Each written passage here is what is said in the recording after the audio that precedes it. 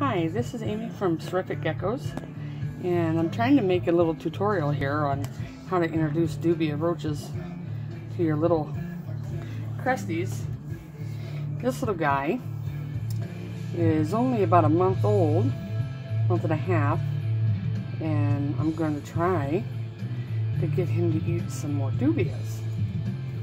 So I've powdered the dubia and I'm going to put a little Pangea on it and I'm going to introduce it to um, to this little guy right on the side of his mouth right there There we go. See? Yay! He eat it.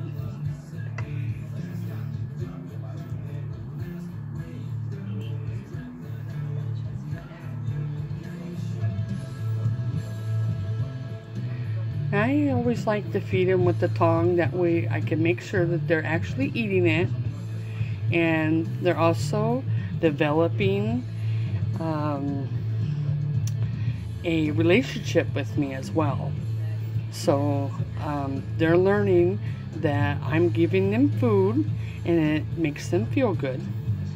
Um, you know, reptiles don't have that much personality sometimes. So um, sometimes we need to encourage this with a little bit of yummy food. Because who doesn't love food? And once they start to associate you with food, then they'll become tamer. Maybe we can get them to eat a second one. Here we go. Here we go. Here.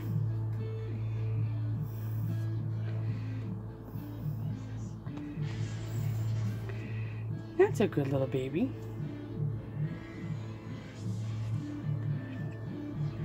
And these um, dubias are really, really small because this guy was just born on August 17th. So these are like the tiniest ones just about that they come. So he's really happy.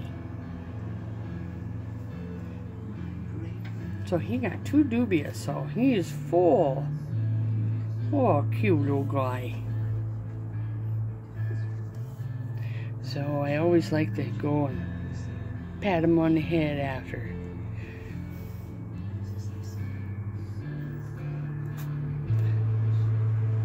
Or handle him a little bit after. You know, not too much. Just enough that they know. Thanks for watching.